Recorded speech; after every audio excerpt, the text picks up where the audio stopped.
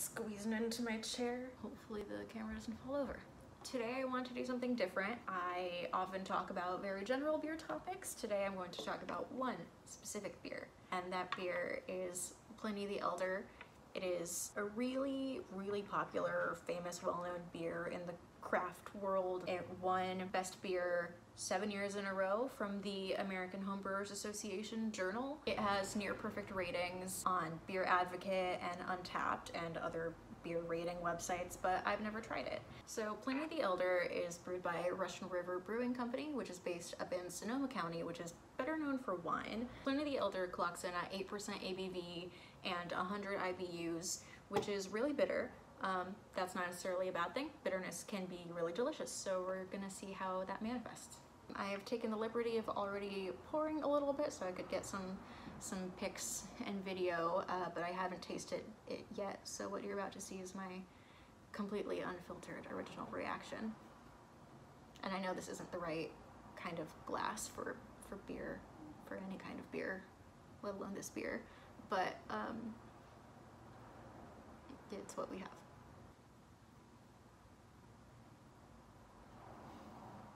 It smells like beer.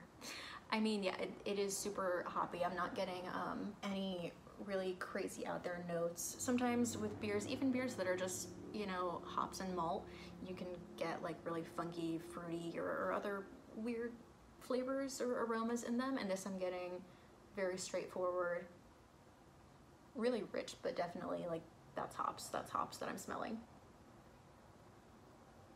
A little bit funky. It's a little um, woodsy even.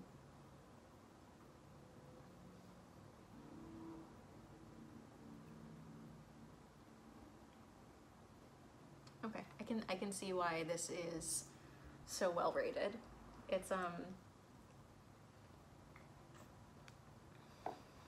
it's simple and straightforward. Like it's not um an explosion of tropical flavors and and I mean we're getting especially now with the way things are going with IPAs, we're getting a lot of really really fruity juicy kind of IPAs with all kinds of super super aggressive notes in it and this is so clean and so straightforward, much more than I expected it to be, um, especially considering it's a double or imperial IPA, double IPA. Um, it is not nearly as funky or fruity. It, it tastes so crisp and clean.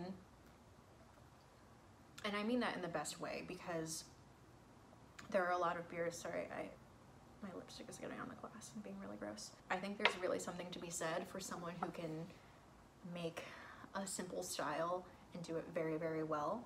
And Russian River here, and I mean, they've been brewing this for years and years and years before the IPA trends have become what they are, so it makes sense.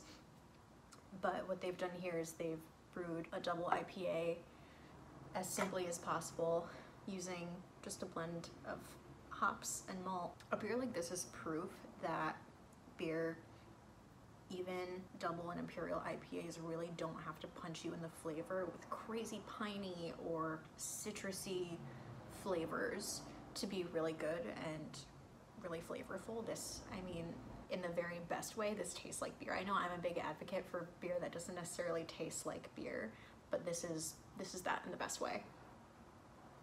Would you like this if you're not a craft beer person? I think someone who likes beer but doesn't know that much about craft beer, like someone who will just, you know, have Miller at parties or whatever, would drink this and be really pleasantly surprised and could you know, from there take an interest more in craft beer.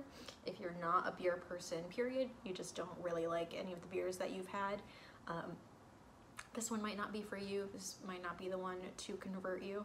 But then again, who knows? If you get your hands on it, definitely try it. So this is one of the most popular beers in the country and I hadn't been able to get my hands on it for a very long time and I just did. So I'm excited to have tried it. I'm excited to keep drinking it. I don't really like to give numerical ratings, that kind of thing, because there are people who have years and years of study and certification that can tell you better how good a beer is or what it tastes like. But what I can tell you is I like it. It's a really good IPA and it's a good beer for people who like beer. I feel like all the IPAs that I've had recently have been very strong in one way or another, either very, very strong tasting of alcohol or of um, dragon fruit and guava or pine or what have you. Um, and this, so it I like I. It's very subtly all of those things. There's a little bit of pine in it. There's a little bit of you know a floral taste and aroma to it, but it's all so subtle and balanced. Especially at eight percent ABV, I was really expecting this to be more of a, a, a punch in the face, but no, this tastes really balanced and really nice. And um, I imagine this would go amazing, amazingly with food, with a lot of different kinds of food. So to answer our question, is super popular beer worth the hype? Yeah, kind of. I think so. I was impressed. But then again, I'm impressed by everything. That said, it's not like Pliny the Elder or uh, Russian River are super expensive, insane price points. So if you're willing to spend a little bit more for craft beer, there's no reason why this shouldn't be in your cart. If anyone is a huge fan of Pliny the Elder or Russian River Brewing, let me know in the comments. If you have tried this and you hate it, let me know in the comments. Uh, I hope to do more videos like this, trying out different things, and hopefully someday I'll be able to leave this apartment and take you along with me on um, my quest to try as many beers and visit as many breweries as possible, especially those in California. I moved here just about a year ago and I'm still getting to know the whole craft beer scene, so I feel like this was a very important milestone for me, trying Pliny the Elder. Well, thank you for watching. If you if you made it this far, let me know if there's any other kind of videos you'd be interested in seeing me make, any other topics, 101 beer questions you'd want me to answer. Whatever, we're just trying different stuff out and trying to trying to have fun in quarantine, right? We're in month 346 of lockdown or something. May. I've hardly been out of the house in six months. Okay, whatever. I hope this was enjoyable or informative uh, in one way or another. If you like me or my face, feel free to like and subscribe and share and tell all your friends and their parents to like and subscribe as well. I'm gonna stop recording now before I, um, I'm, I'm gonna stop now. Okay, bye!